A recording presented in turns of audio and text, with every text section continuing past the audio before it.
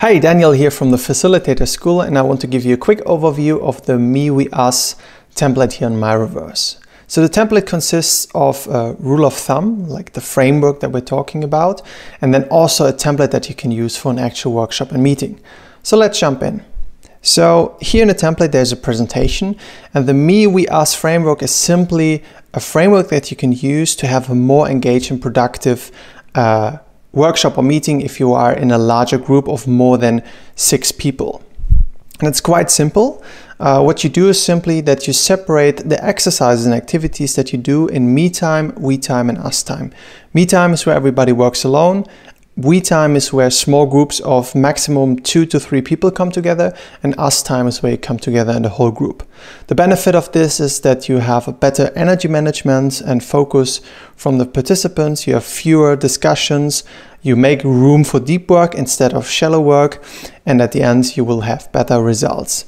So let's take a look at the actual template here. So this is the template and it starts with uh, some ideation time at the beginning and this is the me time phase. And here every participant has uh, a workspace for their own where they can have uh, some time to think about, let's say, a problem or topic and uh, brainstorm some ideas. And if you have more than six people, then of course you need to add more spaces here.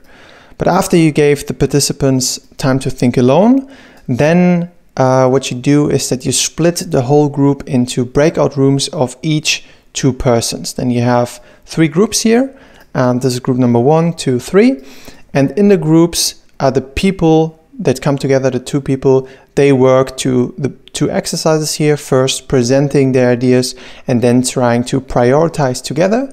And this is great room for giving feedback, for criticizing, for prioritizing. And it works much better if you do this in a small group. And then at the end of the workshop, uh, you bring everyone back together. That's indicated here with the lines uh, into the us time. And us time is where the whole group is together. And here what you do with the group is that you vote together as a group and then you pick the idea that uh, is the strongest from this workshop. And that's basically the framework. Um, try it out yourself and let me know if you have further ideas how to improve it.